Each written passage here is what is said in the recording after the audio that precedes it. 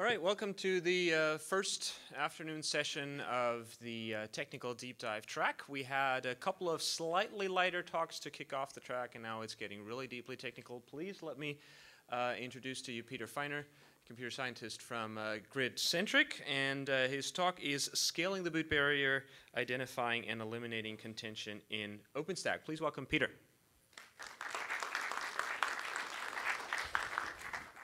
Hello.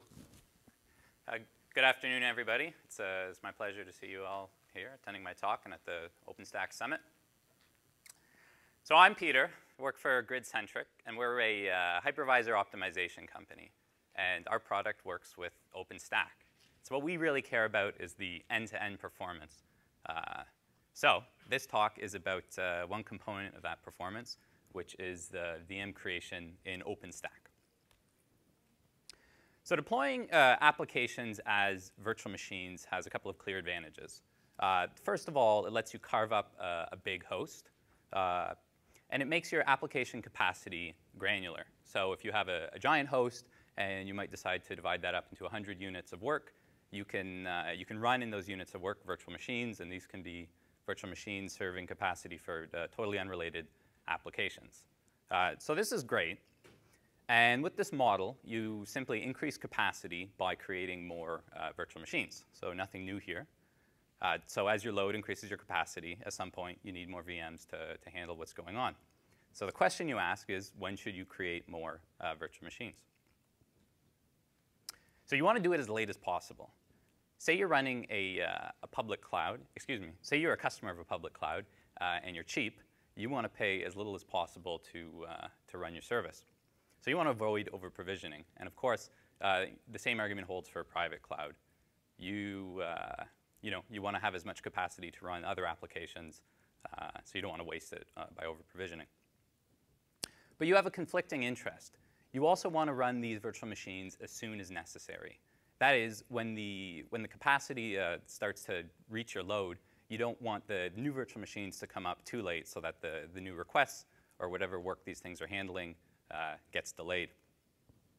So to solve this problem, you need to anticipate when the load will surpass the capacity. This in and of itself is a, is a complicated problem, or I should say it's an open problem, uh, and I'm not going to be talking about that today. The second part, though, is once you've modeled your, your capacity, uh, you need to factor into the, the VM creation decision how long it takes for a new virtual machine to actually start serving. Uh, and the question that I'm going to explore is how can we optimize this? That is, how can we make new virtual machines come up quickly once you've decided to create them? So there are two distinct phases in the, uh, the creation of a virtual machine, uh, really with any virtualization stack, but of course we're talking about OpenStack. There's what I'm calling the VM creation time, uh, and then we sum that with the guest preparation time. So by VM creation time, I mean the time it takes from when you type in nova boot until the time it shows on your dashboard or the status or whatever that the virtual machine is active. And this is a significant event because it means that the, uh, the virtual machine has actually started running and it's emulating the, the guest BIOS and then the, you know, the guest is booting and so forth. So the second part is the guest preparation time. So this is once the virtual machine's actually started running. Uh, so with QEMU KVM, there's a QEMU process and it's churning through uh, guest instructions or you know, the however that's handled on the back. And so now we're looking at the time for the operating system to boot and the application to actually start and start serving requests.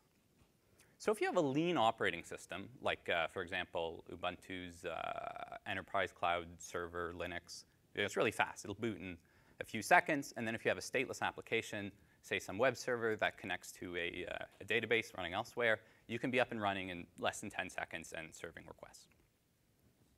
Or if you have a fat operating system, say Windows, uh, and you have a big application, for example, you wouldn't run this on Windows, say you're running Linux and you have like a big J2E application where before it starts serving stuff lean and mean, it's got to do a bunch of JIT and maybe it needs to compute some uh, indexes and this can take an arbitrary amount of time, obviously.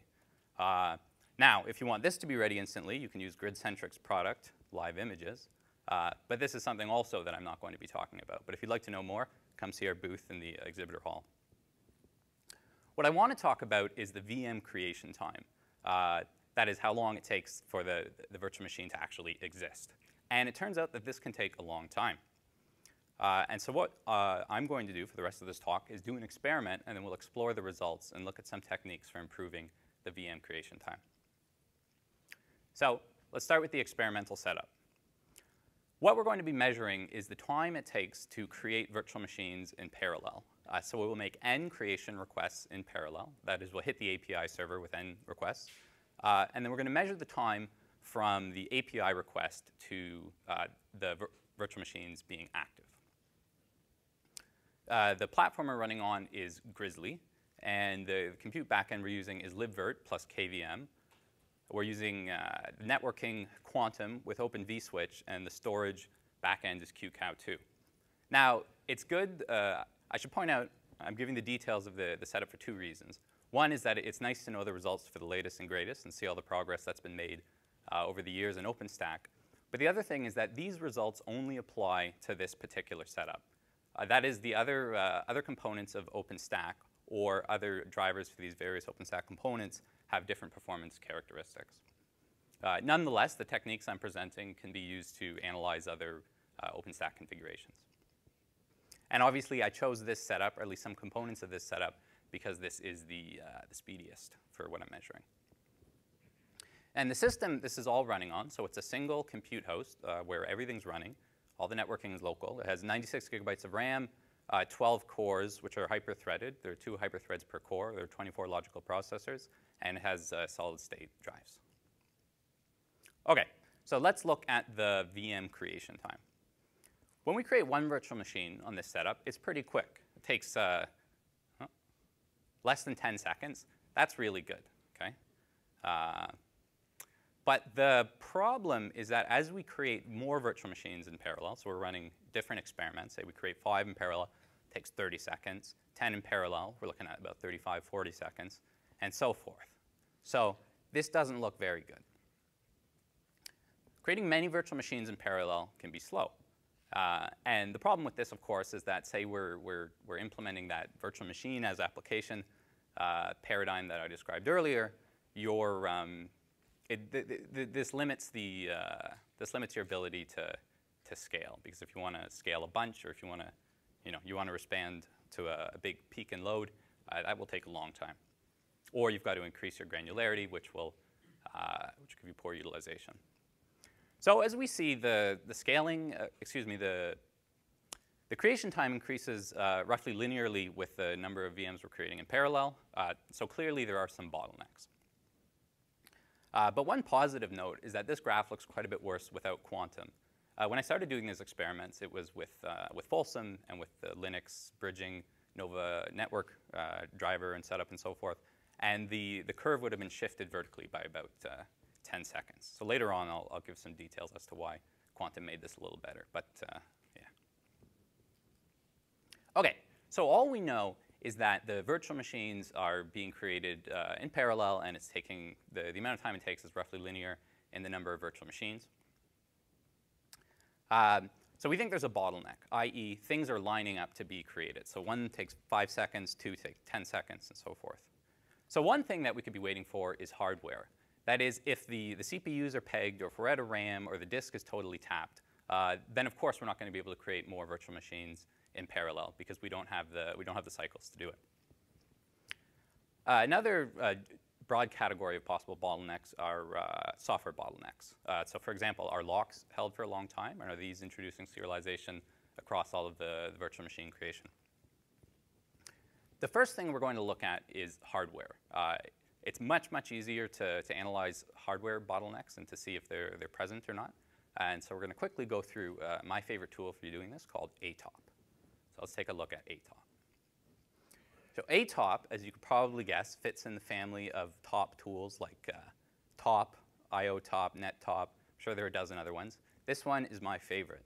The reason is, first of all, it's got a really sweet uh, curses GUI, and you can you know, manipulate it. But the second thing is that it comprises all of the, excuse me, it includes all of the, the, the measurements and statistics from most of the other top tools. And it breaks these statistics down uh, by the system-wide uh, statistics and per process statistics. And you can also do it per, per thread statistics. So the, the statistics we're going to be looking at uh, are the, the most straightforward system-wide metrics, and that is the uh, CPU utilization. So on this system, there are 24 logical processors, and it's not doing uh, anything when I took this screenshot. So it's idle 2,400% uh, of the time. That is 24 times 100. So clearly there are some you know, accounting errors because we have uh, one free percent here. So you can't complain about that.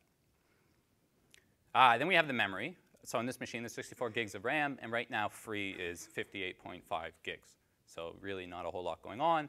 And then finally, the disk is uh, busy 1% of the time. Okay, so the question is, are we seeing this, uh, this apparent serialization of virtual machine creation due to hardware contention?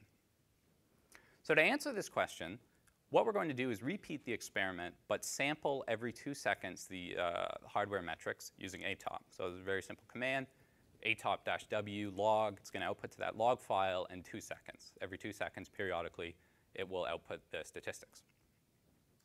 And we're going to look at the hardware utilization for the uh, furthest point on the curve, which was n uh, equals 20 VMs being booted in parallel.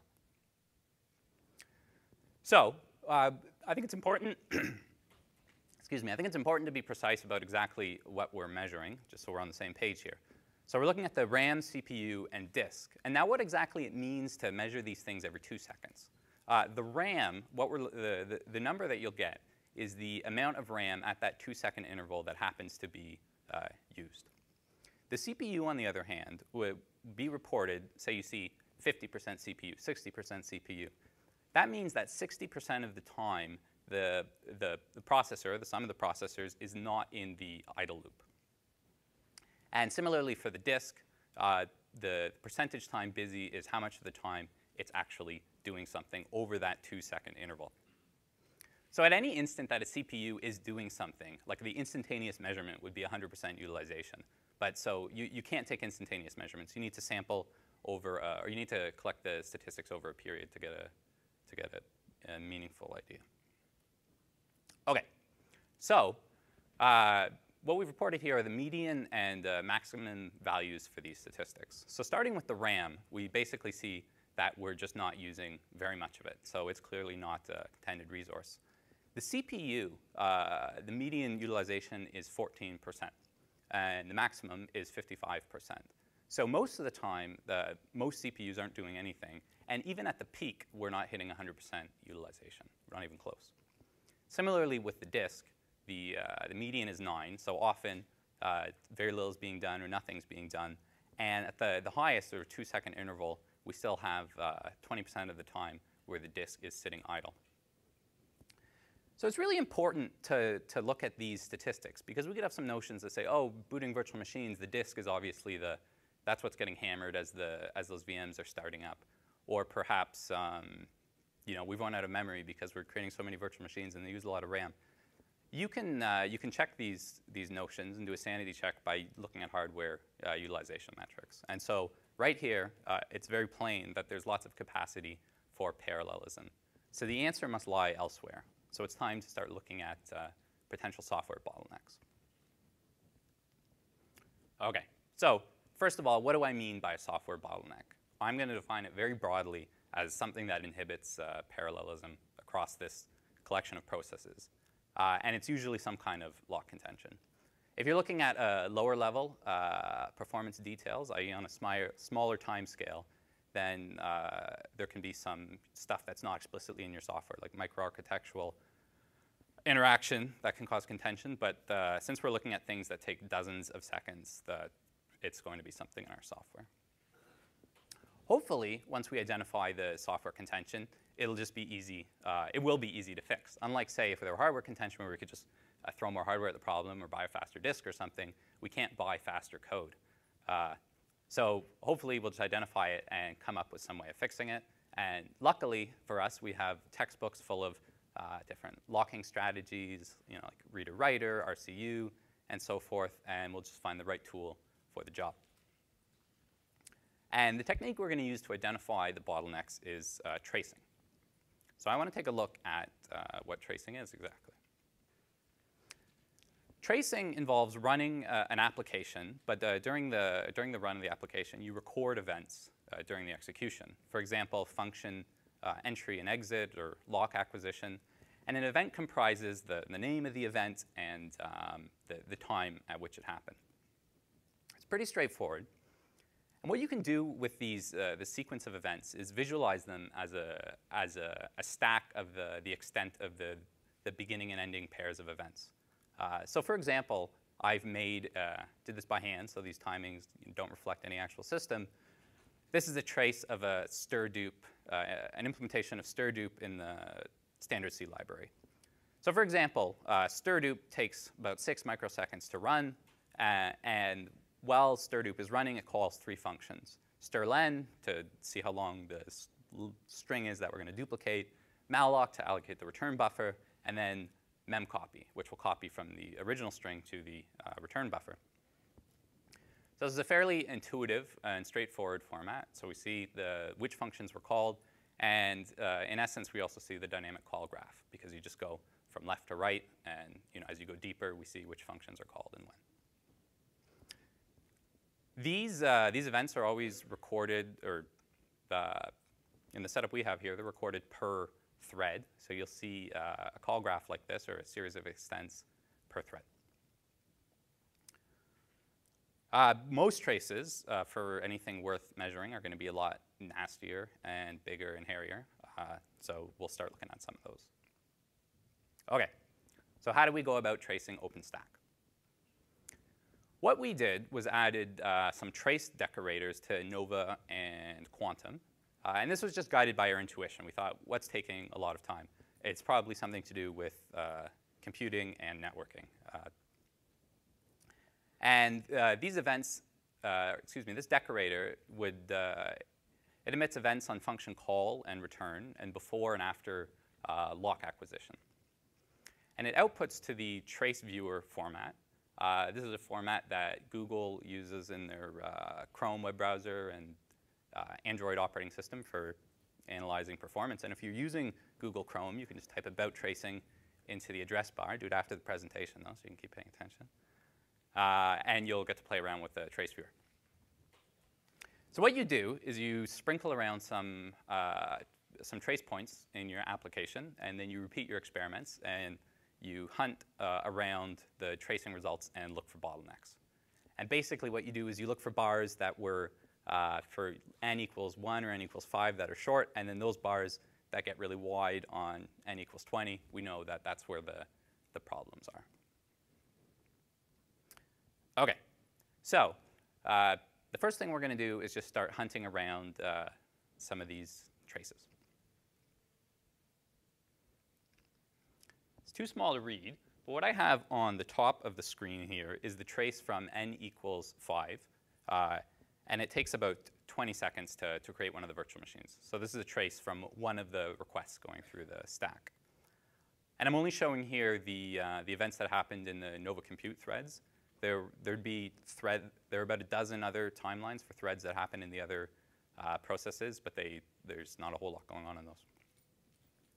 And on the bottom, we have the trace for the, uh, the longest n equals 20 uh, VM creation. So we see uh, it's a lot wider at uh, almost 100 seconds. But the one thing to note is that these traces, see if I can get them both on the screen, basically have the same shape. And visually, you can just sort of see the, the pattern of the colors. Uh, each color corresponds to a, uh, a function.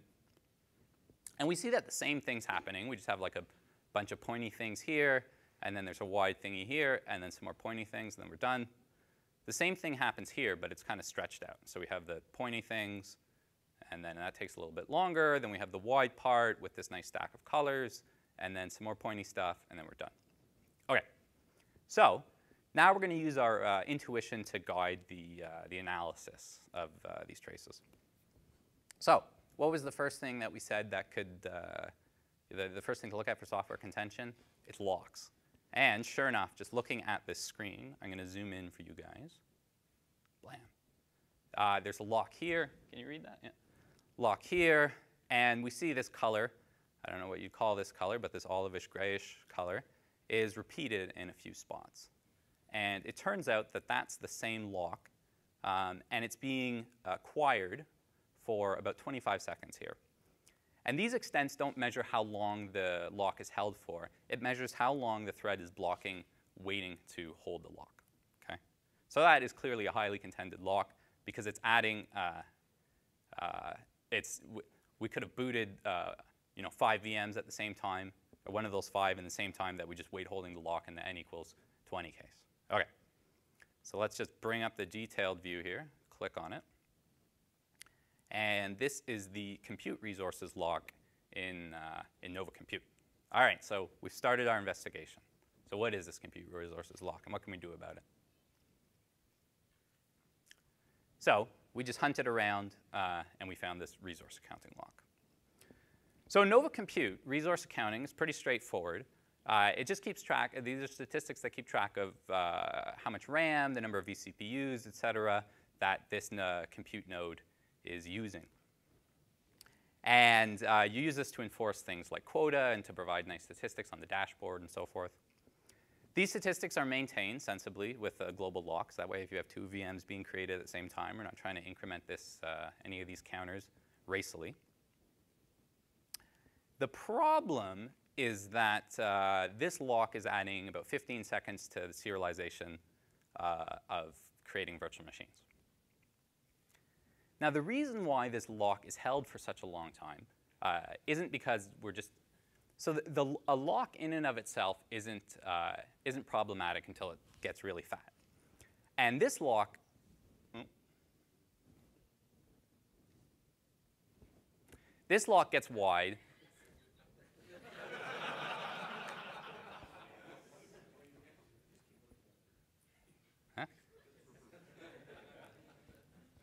This lock gets really wide, um, not because of doing the arithmetic and maintaining the statistics. That, that wouldn't take any time on this time scale that we're looking at.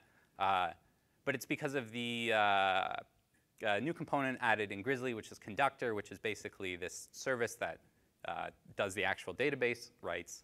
And Nova Compute, while it has this lock, is transmitting the statistics to Conductor via RPC. So these RPCs are pretty quick. They can take a, a couple of milliseconds or 100 milliseconds.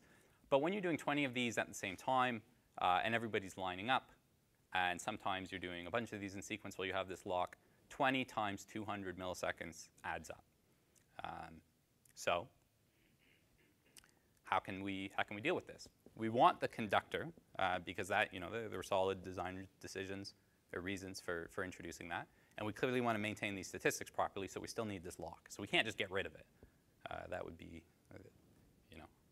that would be great, but we can't. Uh, so the solution we took to this problem uh, comes in two parts. The first part of the solution was to just to look at this code and see that a lot of the time when this lock is held and these statistics are updated and the new statistics are transmitted to conductor, uh, they're not actually changing. So it turns out that in Nova Compute, every time instance update is called, say you're changing something like the, the title of the instance or you're, you know, you're changing what networks are associated with this instance or something, um, the whole shebang is sent to conductor. So uh, what you can do is while you have the lock acquired, you can just check the delta of the statistics to see if uh, anything actually needs to be sent to conductor.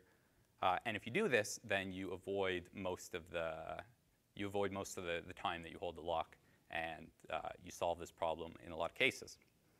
And so the net result is that the median creation time is reduced by about 10% when you create uh, 20 virtual machines in parallel. So that's great. Um, second part of the solution, which I haven't done yet, uh, but it'll also be great, is to coalesce the RPCs that do need to be sent to uh, Conductor. So say you have three statistic update RPCs that are waiting to be sent. They're waiting for this lock. You could, uh, you, you, right before you send those, uh, right before you send those new statistics, you could just compute the, the sum of those three statistics and send Conductor one RPC. So let's see what the, uh, the trace looks like with, the, uh, with this improvement.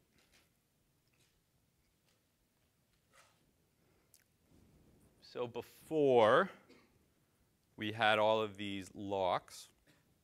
One, two, three, four, and there's some more that you can't see. They're too small. Um, then after doing this uh, change, now it's only apparent that two of these resource compute locks are taking a bunch of time. Uh, the rest of them, they're still there, but they're just a lot shorter because we don't need to send RPCs, so we don't need to, uh, we hold the lock for a very short amount of time. So that's cool.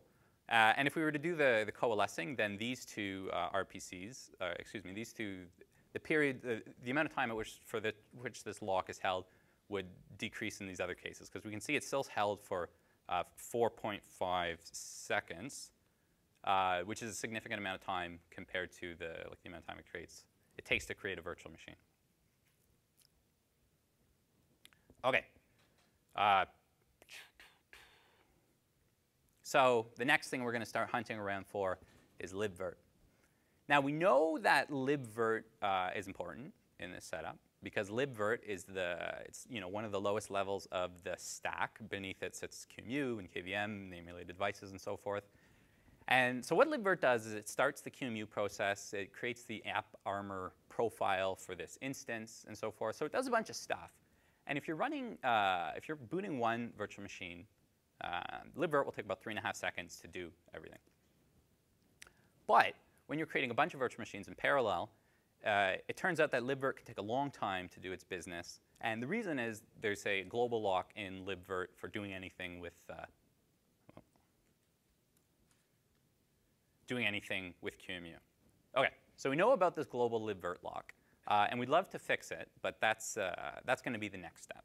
Uh, the people at libvirt are working on that, and I plan to start working on that. But in the meantime, uh, I asked the question, is there anything we can do to mitigate this problem? So let's start hunting again.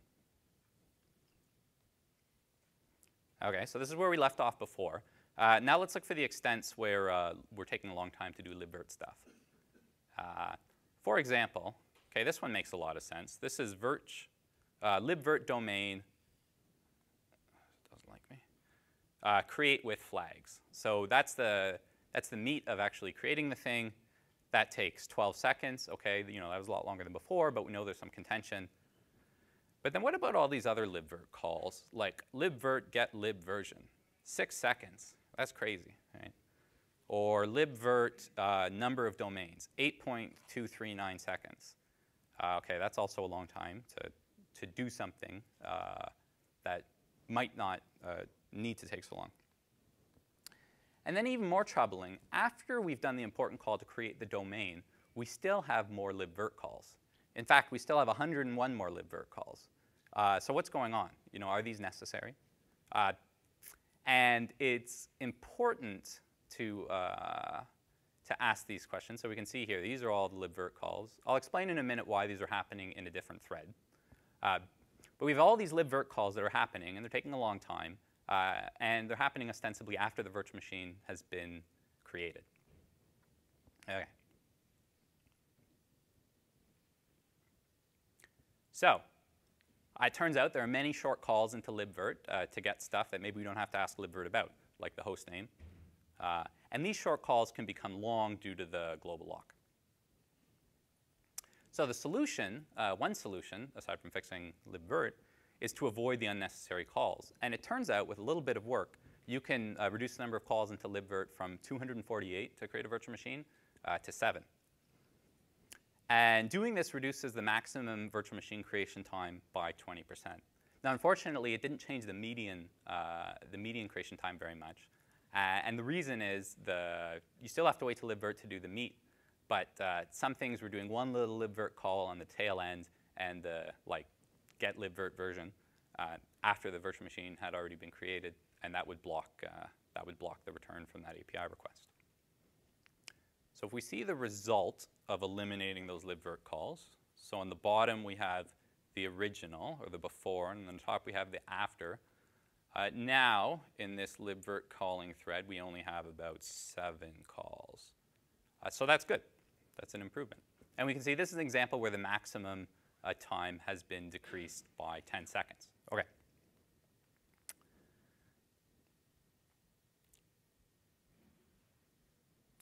All right. The last thing we're going to hunt for is uh, eventlet related problems. Now, show of hands. Uh, whose favorite threading library is eventlet? okay. So we have some intuition. And whose least favorite threading library is Eventlet? Okay. So you're working on this and you're reading about the, uh, uh, you're looking at the mailing list. People have done uh. They've fixed some performance problems with Nova in the past by uh, dealing with some eventlet related stuff. And they've done good work and it's gotten us uh, a long way. But perhaps there's more we can do. So let's take, a, let's take another look at what's going on. Uh, so for those of you that uh, didn't raise your hands, give a little background on Eventlet. So Eventlet is a, uh, it's a cooperative, uh, user-threaded uh, threading implementation where essentially a, a green thread, uh, or one of Eventlet's threads, is really a coroutine. So there's a collection of coroutines, and they're multiplexed cooperatively onto a single native thread. What I mean by cooperatively is instead of blocking, these threads will just yield to one another when they're going to make something, uh, a system call that would otherwise be blocking. So Python standard library normally just makes proper system calls and they block, and Python threads are um, they're native, and so you have you know one thread's blocking, the other threads can continue running. But with Eventlet, we only have one thread. So Eventlet, uh, to solve this problem, patches the standard library routines in Python that would normally block, uh, and it patches them to yield instead of block. Um, but the extent of this patching, or the, the comprehensiveness of this patching, isn't 100% because uh, you can't patch stuff that's not written in Python, uh, i.e., or for example, say libvirt.so uses a send-to system call to talk over a socket. Uh, you can't patch that. Okay, so to get around this, in the past, OpenStack developers uh, have used pools of native threads to do blocking libvirt calls on behalf of, um, of the green threads. And this is good. This solved uh, big problems. But maybe there's more room for improvement. So let's look in the trace to see exactly uh, what's happening. So like I said before, there are all these libvirt calls happening in another thread. And this other thread is the, uh, this is the worker thread, it's a native thread, and these can block. And here is the green thread, so we have this big function call stack through the green thread. And at the bottom, we're doing, uh, say, uh, ver domain, create with flags. And then there's a corresponding function call in the, uh, the native thread to actually do, uh, to communicate with libvirt.so. So here we see tpool, which is dispatching to one of the threads, and then here the, the work's happening. Okay, so this, this trace matches the, uh, the, uh, the model as far as we understand. That's good. But there's an interesting thing happening. Um, I ask for the thread pool to do vert domain create, but it takes seven seconds before it actually calls ver domain create. Uh, so what's going on there? And similarly, uh, define XML, something like 20 seconds or 17 seconds between the, uh, the dispatching to the thread pool and the thing actually getting called. So this thread pool has 20 threads, uh, and we're doing 20 requests in parallel. So you know, maybe we've run out of threads, or maybe we've run out of threads in the thread pool. Uh, that's not the case. I tried increasing it, still saw the same thing.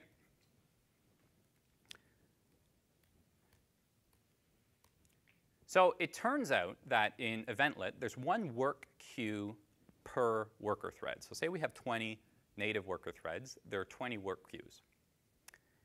And the correspondence between a green thread and a worker queue, uh, that is which, so a green thread A will always submit work to work queue B, uh, this correspondence is fixed. And it's just a function of the green thread's ID. So the worker index is some function, some hash function of the worker's ID mod the worker count, and then you append the work to that work queue. And so the problem here is that you can have two green threads that, uh, that want work done by a native thread, um, and their hash happens to be the, the, same thing. And the probability is actually pretty high because the, you know, it's 1 in 20 that there'll be a collision between two threads. Um, and so that's, that's exactly what we were observing two green threads were submitting work to the same uh, work queue, and so the, the, the, second thread's work wouldn't start to, to happen until the first thread's work was finished. So the solution is just use a standard, uh, you know, use a global work queue. It's really straightforward, just two-line change to eventlet. Uh, but you can see at the bottom of the screen here, unfortunately, all that buys us is waiting on libvirt a little bit sooner. So make a sad face. So let's see what that looks like. So whereas before, say we did uh, create with flags, and then there were seven seconds before we were dispatched in the native thread, uh, here we call create with flags, and then immediately we're dispatched in the native thread. Um, so that's that. But unfortunately, the creation time it wasn't really shifted here. So it was a good attempt. Okay, so we've made a few optimizations. Uh, we've made a few changes, and let's look at the results. So before, this was the original curve, and after, here's the delta. Not a big change. You know, this isn't, this isn't my favorite slide. So the VM creation time, uh, the maximum time uh, was uh, reduced by 20%. Uh, and the median time was lowered by 10%. So these aren't infinitesimal. These aren't meaningless savings, but it's still only 10, 20%. This isn't the, uh, this isn't the horizontal line that we had hoped for. Um, and in essence, what these uh, changes let us do is wait for libvirt sooner. Although the changes to the, uh, the resource contention lock did, uh, th that's why the, the median was shifted, because we weren't waiting for libvirt there. Uh, we were just reducing the total amount of work done. But on the bright side, uh, you've got to understand that you, you basically need to fix all the contention problems before you start seeing the horizontal line. So if libvirt had been fixed, uh, this line would have still been uh, nice and linear because there would have been these other contention problems. So once uh, we or somebody else fixes libvirt, which ought to be happening soon, OpenStack will have this many fewer bottlenecks, and the creation process for this particular setup will hopefully be horizontal. So in conclusion, uh, low VM creation time is good. It gives us a nice, uh, nice paradigm for creating applications and carving up, uh, carving up hardware. Uh, and it's necessary for scaling if you want to do your scaling at the VM level. VM creation time scales poorly due to software contention. Uh, in particular, uh, the libvirt, excuse me, so it, it scales poorly due to software contention. So one really nice way to look at this is that the bottlenecks in libvirt uh, were actually very easily fixed. I only spent about a week fixing them. It took me a lot longer to do all the tracing and whatnot. So that's good. Uh, libvirt, excuse me, OpenStack is a fairly clean architecture. Things are nicely isolated. There's a few global locks. Uh, libvirt's still a big bottleneck, but it's, uh, you know, it's one bottleneck. And tracing is a nice technique to help identify uh, the contention. So the future work is through that RPC coalescing for the, uh, conductor updates, to eliminate the big uh, QEMU lock, as it's affectionately called in libvirt circles, and then to do some more instrumentation, to look at other OpenStack services like Glance and Swift and Cinder, different quantum drivers, and see where the, uh, the bottlenecks are, and finally to perform more experiments. So that's it.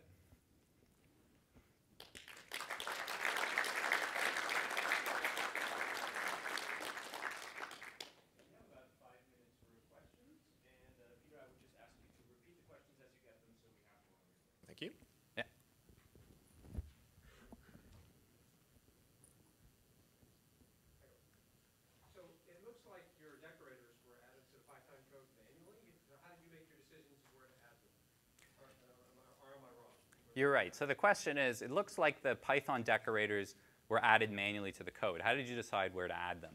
Uh, so it was an iterative process. So I added them to the highest level uh, points, which was the RPC dispatching and the uh, HTTP request handler. Uh, so you saw these big bars that comprise the, the extent of the entire request, and then I just started to drill down. So Nova has a few common design patterns, like to have a manager and subclassing the manager. So actually for that, I just used a, a meta class. And so then every method in the, that's implemented in any manager would be instrumented. Uh, and then locks, you know, just based on the intuition that there's probably contention there. But it was, it was kind of an iterative process. And once I got a detailed view and I figured out where the bottlenecks were, that, that was it.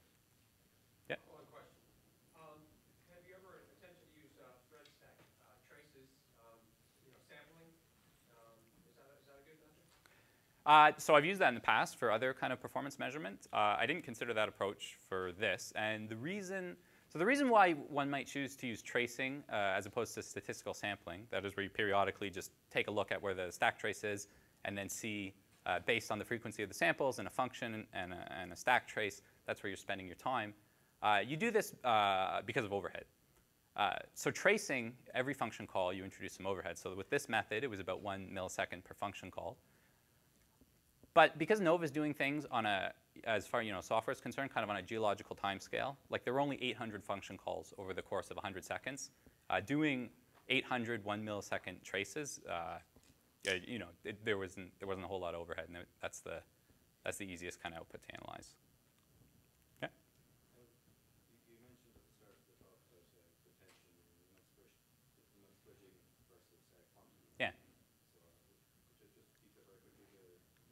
Oh, absolutely. So the question is, at the beginning of the talk, I mentioned that uh, quantum fixed some contention issues that were in Nova Network.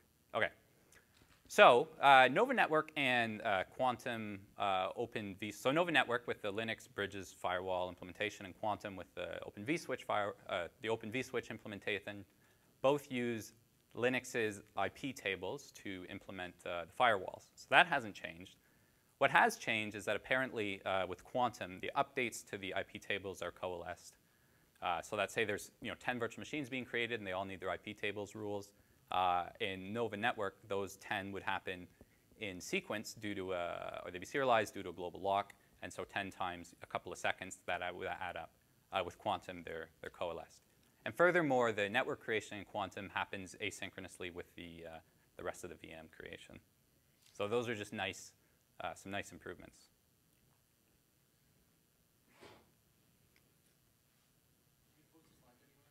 Uh, absolutely. I think they'll be posted on the OpenStack Summit site, but I'll also post them. If you Google my name, I have a page from a long time ago when I was a student. Uh, I'll put them there. And the code, uh, the tracing code's available on, uh, on GitHub. I made some branches. Yeah? Or maybe a new question. Yeah, you said this is on Grizzly. Uh, how has this changed since Folsom? Or do you not know? Uh, okay, so the question is, uh, the observation was that this is on Grizzly, and the question is, uh, what does this change set look like on Folsom? Uh, I don't know. I did most of these patches. Oh, the difference between the two was about 10 seconds. Just everything was shifted up by 10 seconds due to um, due to uh, due to quantum. There were other there were other things. Uh, there were, so the there, there used to be a lot of eventlet and kind of libvirt blocking and database blocking problems in Essex a long time ago when I first looked at this, and the curve was way more horrible, but the, the thread pool took care of a lot of that. Uh, but it, it's getting uh, consistently better, which is, which is nice. Okay, thank you very much.